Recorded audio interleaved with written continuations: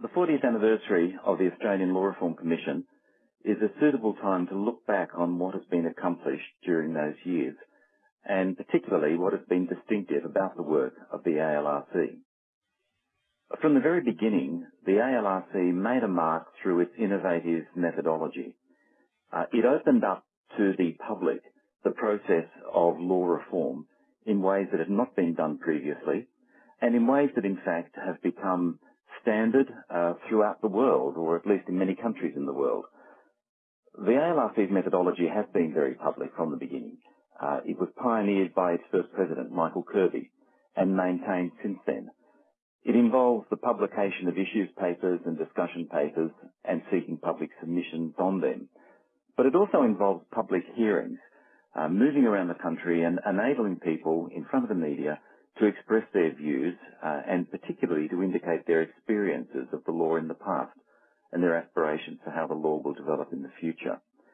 This public process of law reform has opened up the law itself to much greater scrutiny by the community and a greater sense of community ownership um, of legal changes.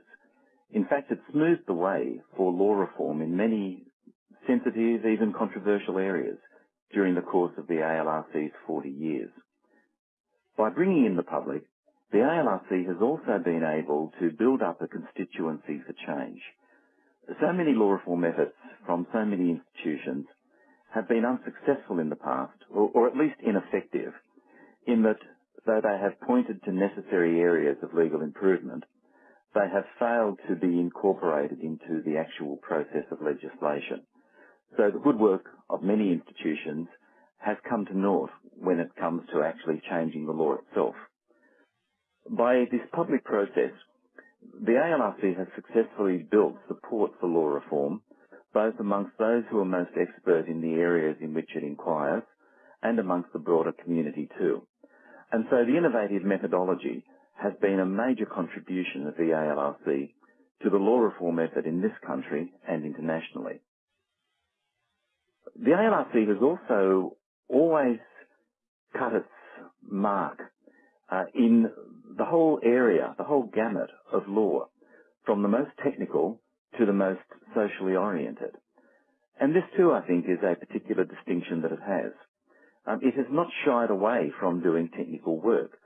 Uh, I recall during my years um, on the commission, uh, we did work on personal property security law and collective investments law. Um, at the same time, the ALRC has always had a very strong social agenda. Uh, again, referring to my own time at the Commission, we did work on women's equality before the law and children in the law.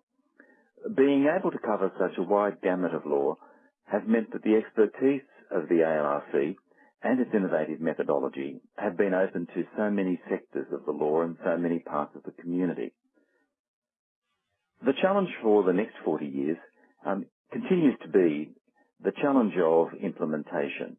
Uh, this has certainly been a great demand in the 40 years gone by and will continue. The methodology, as I have said, ensures the best possible prospects for implementation of ALRC recommendations.